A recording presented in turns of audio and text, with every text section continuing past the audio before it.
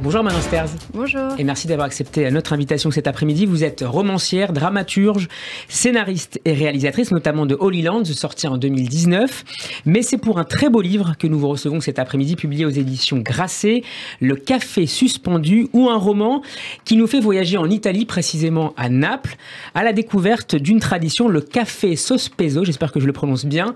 Un, un client peut, au moment de régler sa note, offrir un café à un autre client nécessiteux qui viendra en profiter un peu plus tard dans la journée. Amanda Stars, comment avez-vous découvert cette coutume napolitaine? J'étais en tournage d'un film qui est l'adaptation d'un précédent roman qui s'appelait Les Promesses et euh, j'étais en repérage euh, en Italie. Mmh. Et en passant par Naples, je vois euh, le producteur du film régler six cafés au lieu de, de trois et je lui demande pourquoi. Et il m'a expliqué cette tradition. Et c'était ça a créé d'abord chez moi humainement une émotion très forte et ensuite je me suis dit mais quel sujet de livre euh, merveilleux en fait de, se demander ce que ce, café euh, donc suspendu, ce café qui attend euh, l'autre pour, pour exister, peut créer dans les vies de chacun. En fait, c'était pour moi l'évidence de parler du, de la générosité du don et du fait que il y a des liens invisibles qui se créent entre la personne qui offre et la personne qui reçoit. Ah, je vais vous citer justement page 16, du côté de celui qui laisse comme de celui qui reçoit, la vie passe dans cette tasse qu'on tend dans son imaginaire ou qu'on accepte de main inconnue. Pourquoi selon vous cette habitude, ce rituel, j'allais dire, euh, prend-il forme là dans un café? Qu'est-ce qui se joue de particulier dans ce euh, lieu de sociabilité un peu euh, particulier? On essaye peut-être de retisser le, lien social. Exactement, ce qui se passe dans un café, c'est de dire à l'autre, même si tu n'as pas d'argent, tu as le droit de faire partie de l'humanité, tu as le droit de faire partie du monde, tu as le droit de croiser des regards, de tomber amoureux, de te faire un ami, de donner ton avis politique, puisque euh, c'est un petit lieu de débat, c'est un mmh. petit théâtre. Et il y a ce symbole de la vie qui existe dans ce café, euh, le temps d'une de, demi-heure, mais qui fait que la personne qui n'a pas d'argent a quand même le droit d'exister. On, va tous, je l'espère, beaucoup plus nombreux voter euh, dimanche. Voter, c'est ça, c'est dire on a tous le droit à ce qu'une voix compte de la même façon. Elle compte de la même façon que vous ayez les moyens de vous, de, vous payer euh, un, palais ou juste un café. Et c'est ça ce que ça veut dire le café suspendu. Ça veut dire qu'on a tous le droit euh, de faire partie du monde. On a une place. Ouais.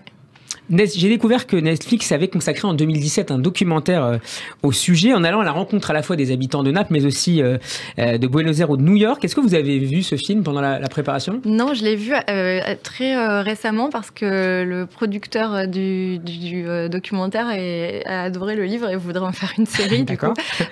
et donc je l'ai rencontré, il est très sympa et, et, on a eu cette même émotion sur ce sujet. Et il est d'ailleurs d'origine argentine et quand il est arrivé à Naples, donc c'est drôle, c'est pas des Napolitains qui en parlent, mais lui aussi a été très ému par cette tradition. Alors votre narrateur Jacques Madelin croque les touristes la nuit. La journée, il délaisse le pinceau pour le stylo, assis euh, dans l'établissement de son ami Marcelo, au café Noubé ou Noub. Et c'est là qu'il porterait le quotidien plus ou moins singulier des personnages de cette histoire que vous nous contez, Amanda Sters. Est-ce que vous aimez vous aussi imaginer vos prochains personnages dans ce euh, formidable poste d'observation qu'est un café? J'aime bien euh, regarder les gens de toute façon un petit peu euh, en retrait, c'est-à-dire que je, suis quelqu'un qui observe plus que je ne suis dans la vie, euh, mais aussi parce que comme le personnage principal, comme le narrateur, je pense qu'un romancier, c'est quelqu'un qui a de l'empathie. Et donc, pour comprendre les gens, il faut être capable de s'effacer. Il faut être capable d'essayer de, voir le monde à travers leurs yeux. Et je pense que c'est vraiment ce qu'il fait. Euh, alors, je le fais pas physiquement dans un café, mhm. mais euh, je, j'aime bien euh, prendre des bus, me perdre dans la rue, regarder les gens, regarder juste un petit geste. et c'est des points de départ forts pour mon imaginaire sept scénettes dans ce livre. La première voit deux femmes, Fernanda et Silvia, euh, se battre pour le cœur et aussi peut-être surtout pour l'argent de Benedetto Livari qui a cette phrase Je suis napolitain, nous vivons à Naples. Dans ma langue, il y a 150 façons de dire idiot. C'est la plus belle langue du monde, on le sait. Naples, Amanda Stars, est l'une des villes les plus pauvres d'Europe, euh, malgré des paysages absolument exceptionnels dans cette région de l'Italie. La fierté d'être napolitain, d'appartenir à cette communauté, c'est quelque chose qui demeure malgré tout? Malgré la pauvreté oui, et d'ailleurs, donc il parle de parler napolitain, pas parler euh, italien. Donc euh, évidemment, si tout même si tout le monde parle italien là-bas, c'est un dialecte qui est resté. C'est comme si tout le monde en Corse parlait corse. Et il y a cette fierté. ce, oui, c'est quand même un endroit très spécial. C'est vraiment un théâtre et tout ce qu'on a vu dans les films où euh, voilà tous ces Italiens du Sud qui parlent avec des grands gestes, avec des vraies gueules et tout ça, c'est euh, réellement ça là-bas. Donc je me suis régalée dans le livre à, vraiment croquer des personnages très hauts en couleur. Euh, on est parfois proche d'une caricature, même s'il y a beaucoup d'émotions, mais en tout cas je les voilà je les croque comme euh, le, personnage principal qui est d'ailleurs caricaturiste. Alors ce qui est fascinant, c'est que les Napolitains ont étendu ces dernières années le principe du café suspendu à d'autres domaines, ainsi des tests Covid pendant les premières vagues de coronavirus que l'on pouvait acheter, euh, mais aussi offrir. C'est vraiment culturel là-bas, cette tradition? Euh, Il y avait quelque chose de très beau à Naples pendant la période du Covid. Ils ont mis des paniers dans la ville mmh. et il y avait écrit en italien celui qui, celui qui peut laisse et celui qui ne peut pas prend. Et il y avait, voilà, c'est quelque chose qui fait partie euh, de la culture. Et, euh, et même avec ce qu'il y a de pire, par exemple, voilà, la, mafia napolitaine, en fait, au départ, un Andrangheta, il était, a été créé pour euh, redistribuer. Il y avait un côté, côté un peu Robin des Bois. Et c'est comme voilà, toutes les belles idéologies, ça, ça se transforme mal quand il y a des, des êtres humains dedans. Mais il y a aussi du beau et il y a aussi voilà, ce truc qui est resté de, du, du sens du partage aussi parce qu'il y a évidemment une vraie mixité sociale, beaucoup de, pauvreté. Et, euh, et donc, voilà, ça fait partie du décor. Alors dans cette galerie de portraits qui court sur 40 ans, euh, j'avoue avoir une préférence pour le docteur Chen, arrivé de Chine à Naples un peu par hasard. Nous sommes au début des années 80 et ce spécialiste d'acupuncture a le mal du pays assez vite. Il explique au, narrateur avoir perdu l'harmonie, mais Jacques, ce narrateur donc finira euh, par l'initier progressivement à la, culture napolitaine, pardon, euh, tandis que les patients le paieront pour rester en bonne santé jusqu'au jour où le docteur Chen découvre le café suspendu cette tradition, c'est une manière aussi de, rétablir l'harmonie dans la société, pour reprendre le terme du docteur Chen. c'est drôle, chacun a son histoire préférée et ça me dit beaucoup de choses sur les gens, ce qu'ils choisissent. J'aime beaucoup le docteur Chen aussi, j'y suis très attachée. Euh, en fait, c'était dire euh, que trouver sa place dans la société, c'est difficile. C'est pas forcément euh, une question de moyens. Il y avait aussi cette idée de l'étranger. Voilà, comment est-ce qu'on on devient napolitain? Comment est-ce qu'on comprend ce que c'est que l'essence de Naples? Ça semble impossible au début pour le docteur Chen. Bah, pour un, Chinois qui arrive dans les années 80, euh, qui, qui connaît personne, qui pratique la médecine de façon complètement différente, puisqu'en effet, il, veut. Euh, en Chine, on garde les gens en bonne santé et quand ils viennent parce qu'ils sont malades, ils ne payent pas le, mhm. médecin, c'est que le médecin a échoué.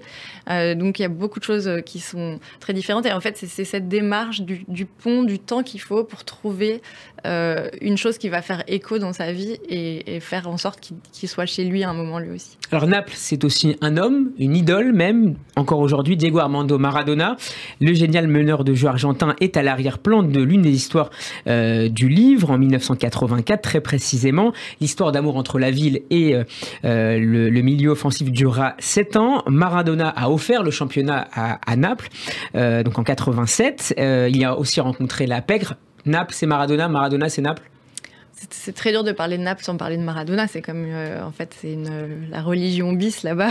Euh, et, il est partout, on le voit partout quand on se déplace à Naples. Euh, je vous conseille le très beau documentaire qui a été fait sur Maradona, je pense qu'il est aussi maintenant disponible sur Netflix ou sur Canal, mais qui est extrêmement touchant parce qu'au-delà de, de, la beauté de, de ce qu'il y a en football, il y a l'explication de cet endroit qui était à cette époque vraiment dans un marasme total, une très grande pauvreté, qui d'un coup à euh, la plus grande promesse euh, du monde qui accepte de venir dans ce club et qui, euh, alors qu'ils étaient regardés avec mépris par les clubs de Rome et de Milan, d'un coup, euh, va, va les de, de, Barcelone, un grand les, club. Et les venge. Et, et c'est ce petit type qui va, les, qui va leur redonner leur fierté. C'était aussi quelque chose qui était proche de ce café suspendu. Voilà comment, en fait, euh, on, on, laisse euh, à des gens qui, qui n'ont pas les moyens le droit de rêver aussi. Le droit de rêver, le droit de faire partie du monde. Et, et cette, euh, ce, cette histoire commence, euh, dont vous parlez, elle commence le jour de l'arrivée de Maradona, qui, où, où tout, tout le,